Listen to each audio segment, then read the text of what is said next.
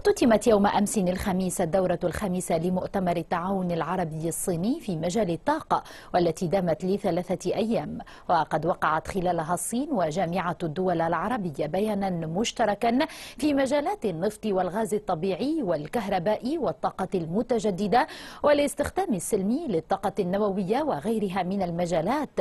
وذلك من أجل تسريع التقاء قدرة الإنتاج بين الصين والدول العربية. شهد المؤتمر تبادلات وحوارات متعمقة بين ممثلين من الجانبين الصيني والعربي حول موضوعين رئيسيين هما كيفية بناء طريق الحرير للطاقة وابتكار واستكمال البيئة المالية.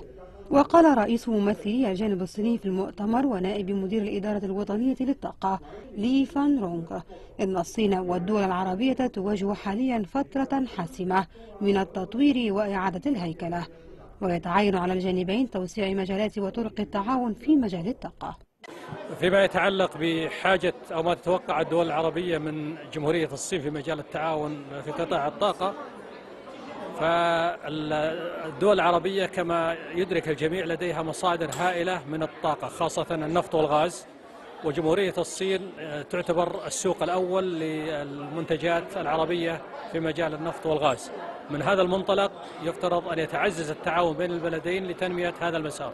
بعد هبوط أسعار النفط الخام فليس في صالح تنمية الدول العربية الاعتماد فقط على الموارد. لاحظنا أنها بدأت في تطوير صناعة تكرير النفط والصناعات الكيماوية ونحن نريد أن نقدم تقنياتنا وقدراتنا في هذا المجال لمساعدتها على تحقيق التنمية وإعادة الهيكلة وتحقيق التنمية المشتركة.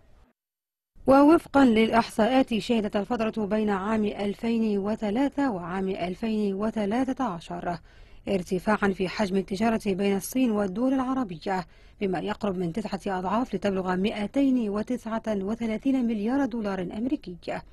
مع تشكيل الطاقة الجزء الأهم من التعاون الاقتصادي والتجاري بين الجانبين.